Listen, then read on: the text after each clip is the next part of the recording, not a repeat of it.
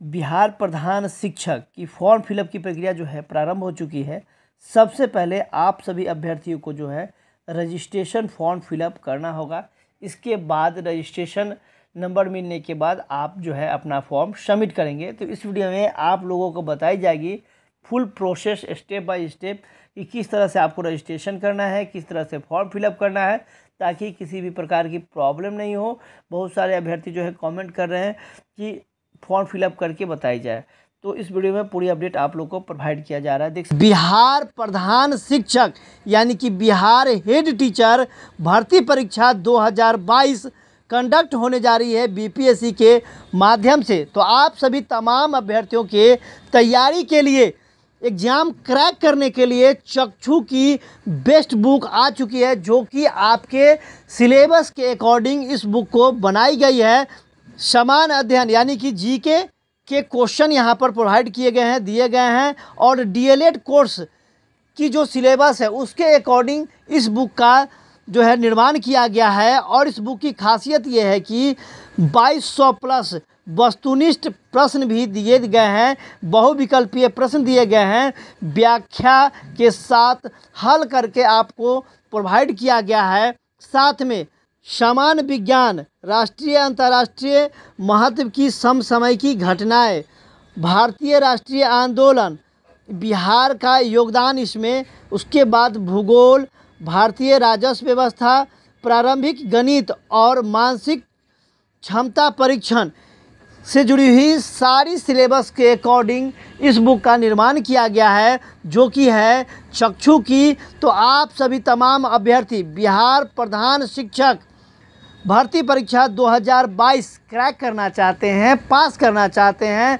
तो इस बुक को आप ज़रूर पढ़ें। मेरे कोचिंग में सभी अभ्यर्थी जो हैं इस बुक को पढ़ रहे हैं और आप सभी अभ्यर्थी को रेकमेंड किया जा रहा है कि ज़रूर आप इस बुक को पढ़ें, क्योंकि आपके सिलेबस के अकॉर्डिंग ही इस बुक को बनाया गया है, जो कि बिहार का ये प्रथम बुक है, जो कि बिहार प्रधान शिक्षक, यानी कि बिहार हेड टीचर भर्ती परीक्षा 2022 के लिए बनाई गई है, जिसमें समान अध्ययन, यानी कि जीके के प्रश्न और डीएलएड कोर्स के अकॉर्डिंग जो सिलेबस है, उसके आधार पर इस बुक का निर्माण किया गया है।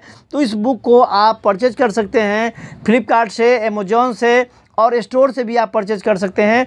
इसका लिंक जो है नीचे में डिस्क्रिप्शन बॉक्स में दिया गया है बाई लिंक। तो ज़रूर आप इस बुक को पढ़िए। अगर आप बिहार प्रधान शिक्षक पास करना चाहते हैं, प्रधान शिक्षक बनना चाहते हैं तो इस बुक को ज़रूर आप पढ़िए कि यहाँ पर है कैंडिडेट्स फ़र्स्ट नेम। तो अपना जो है फ़र्स्ट नेम यहाँ पर इंटर करेंगे। मिडिल नेम है आपका अगर आपका है तो मिडिल नेम लिखेंगे। अगर नहीं है तो लास्ट नेम जो है आप इसमें इंटर करेंगे।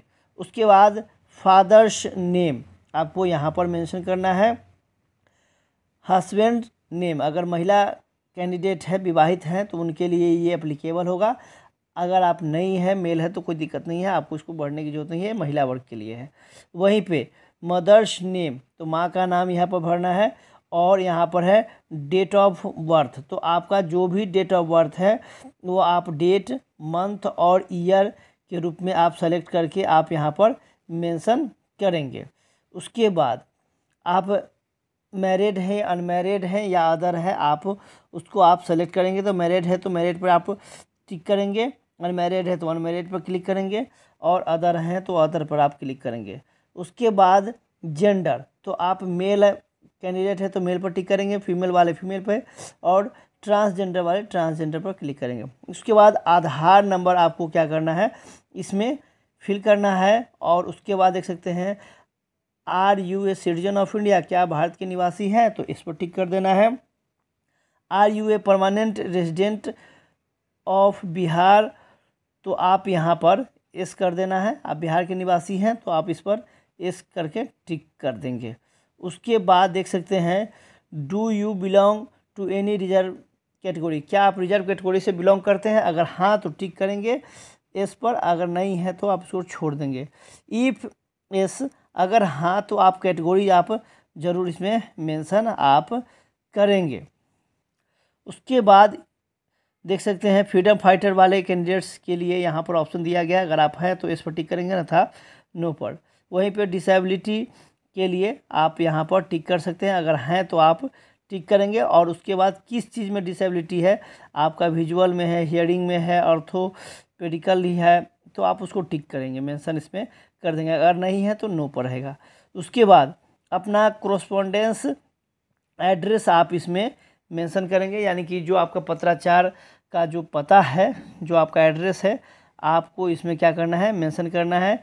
स्टेट डिस्ट्रिक्ट और पिन इसमें इंटर आपको कर देना है। परमानेंट एड्रेस जो आपका है, वो इसमें आपको मेंशन कर देना है। करने के बाद क्या आप एडवर्टीजमेंट के द्वारा जो भी क्राइटेरिया बताई गई है, अगर फुलफ़िल करते हैं तो आप हाँ पर क्लिक करेंगे और उसके बाद ईमेल आईडी वाले ऑप्शन में ईमेल आईडी डालेंगे और गेट कोड पर क्लिक करने के बाद जैसे ही क्लिक करेंगे तो कोड आपको मिलेगी और इस कोड को इसमें डाल देना है। फिर आप अपना मोबाइल नंबर इसमें इंटर करेंगे गेट ओटीपी पर क्लिक करेंगे तो जो ओटीपी आएगा, उसको इसमें फिल कर देना है। इसके बाद जो कैप्चा है, वो कैप्चा कोड इसमें डालना है और फाइनल रजिस्ट्रेशन फॉर्म पर क्या करना है क्लिक कर देना है। उसके बाद आपका रजिस्ट्रेशन नंबर आपको अलॉट हो जाएगा। रजिस्ट्रेशन कंप्लीट होने के बाद यूज़र आईडी और पासवर्ड के माध्यम से आप अपने अकाउंट में लॉगिन होंगे और लॉगिन होने के बाद यहाँ पर देख सकते हैं अपडेट योर रजिस्ट्रेशन इन्फॉर्मेशन और उसके बाद लास्ट में आपको पेमेंट कर देना है। तो उस, देख सकते हैं, यहाँ पर अपडेट योर रजिस्ट्रेशन इन्फॉर्मेशन पर क्या करेंगे? क्लिक करेंगे। जैसे ही आप तो आपका डिटेल जो है यहाँ पर दिखने लगेगा। इसके बाद आपको क्या करना है? पेमेंट पर क्लिक करना है और अपना पेमेंट सबमिट करना है। तो पेमेंट पर क्लिक करने के बाद आप देख सकते हैं कि आपका डिटेल यहाँ पर दिखने लगता है और यहाँ पर पेमेंट के लिए प्रोसीड यहाँ पर क्लिक करना है आपको। जैसे ही क्लिक करेंगे तो यहाँ पे आपसे पेमेंट एक्सेप्ट किया जाएगा। तो आप कैसे पेमेंट करना चाहते हैं? नेट बैंकिंग से भी कर सकते हैं डेबिट कार्ड क्रेडिट कार्ड से भी कर सकते हैं। आपको यहाँ पर देख सकते हैं रुपए कार्ड से भी कर सकते हैं और अदर कार्ड से भी आप डेबिट कार्ड से आप कर सकते हैं।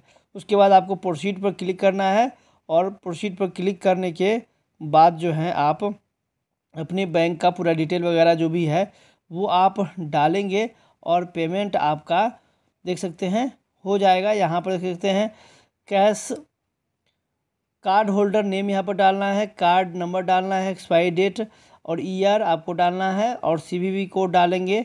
उसके बाद आप कंटिन्यू पर क्लिक करेंगे तो आपका पेमेंट हो जाएगा और पेमेंट होने के बाद फॉर्म फिलअप के लिए पूरी डिटेल आपकी खुलेगी तो उसमें आप जाकर पूरे फॉर्म को फिलअप करेंगे। आप सभी अभ्यर्थियों के मन में कोई प्रश्न हो, कोई डाउट हो तो आप कमेंट करके पूछ सकते हैं।